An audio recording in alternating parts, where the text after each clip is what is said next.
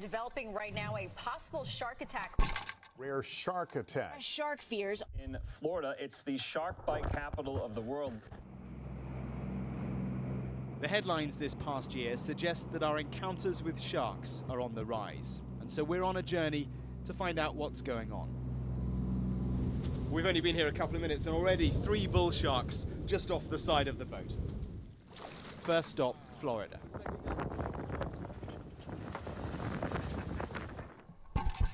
Bull sharks have a terrible reputation. They are territorial and with little tolerance for provocation, intentional or otherwise, and so they are responsible for many of the attacks around the world.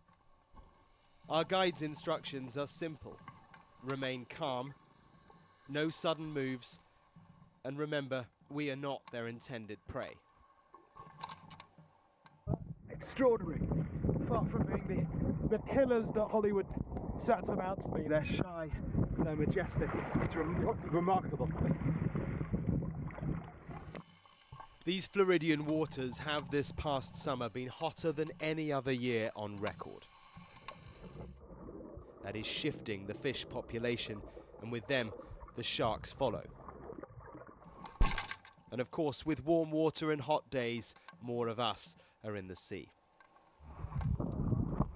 From Florida to Nova Scotia, 1500 miles to the north, this is where the scientists' focus now is.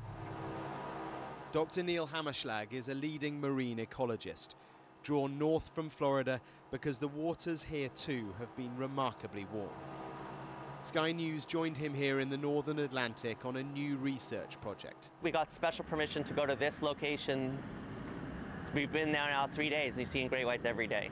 Over several months, he is attempting to tag the great white sharks and follow their movement.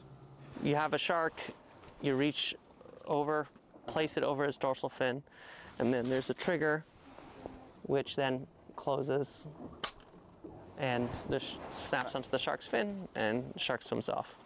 And the, the antenna is for every time it comes to the surface, that will send a ping. And, and so you're able over time to be able to, to track its movement. Yep, not only does it give the, uh, the location, but also gives a temperature reading. Dr. Neil has permission here to use bait to draw in the great whites. And his own footage from just a few days in the area is remarkable. Places that were historically too cold for them are, are now becoming like suitable, and so they're going to go there. In recent years, just the number of sightings have increased. I mean, just 15 years ago, if you told someone I saw a great white, they wouldn't believe you.